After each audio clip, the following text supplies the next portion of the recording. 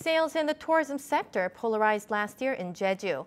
Sales in duty-free shops and casinos sharply increased. Meanwhile, sales in restaurants, accommodations, transportation businesses decreased. Joseph Kim reports. 14.7 million people visited the island last year. That's a 3% decrease from the year before. However, sales in the tourism sector significantly increased in the year. Last year's gross income in the sector recorded 6.5 trillion won, which is up 15% from the year before. An increase in spending by non Koreans led the growth. The growth was mainly made in local duty free shops and casino businesses.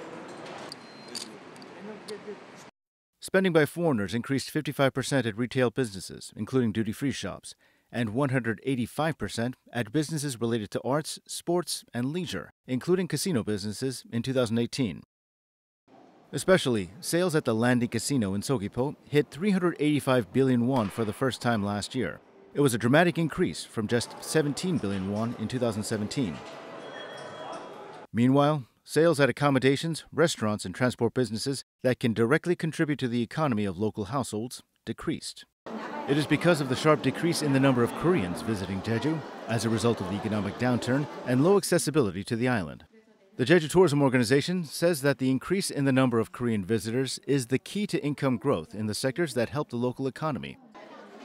The organization adds that spending by non Koreans, now only focused on duty free shops and casino businesses, needs to be diversified by creating businesses in which foreigners can loosen their purse strings.